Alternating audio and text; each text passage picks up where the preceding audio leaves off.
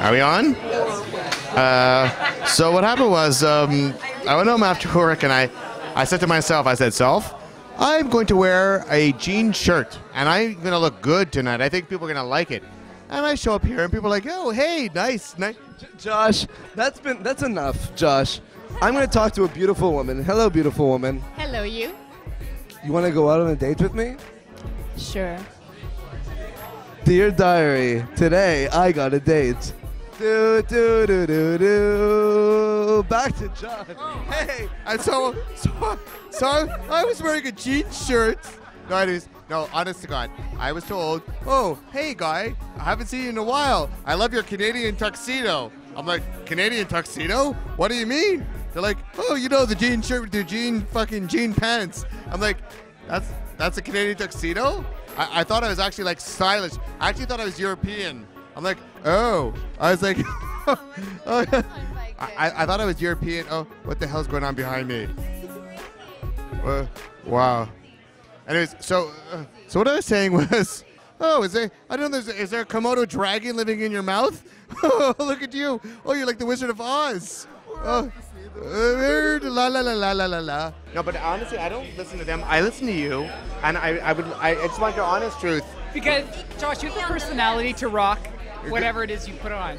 No, because it all comes from the person. So I know, no, but is it is it bad? Like I'm, I'm wearing jean shirts with uh, jeans. Is it is it terrible? Like like is it? No, no, not at all.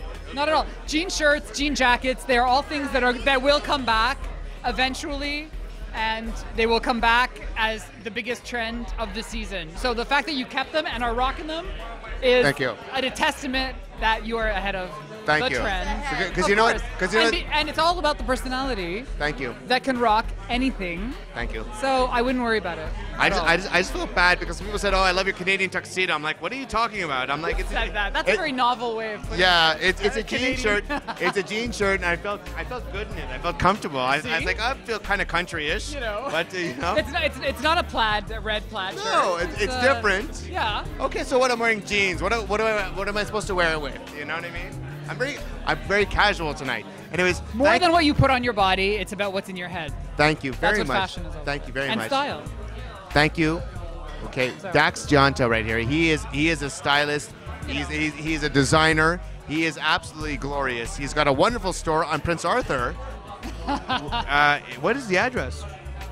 Oh my goodness. Um, 24. 24. 24 Prince Arthur, near Saint Laurent. Anyways, thank you very much. I think it's wonderful to hear from him, a man who knows his stuff. Hi. Hey, hi. Do you like what I'm wearing tonight? it's amazing. yeah, yeah. She, I hate her.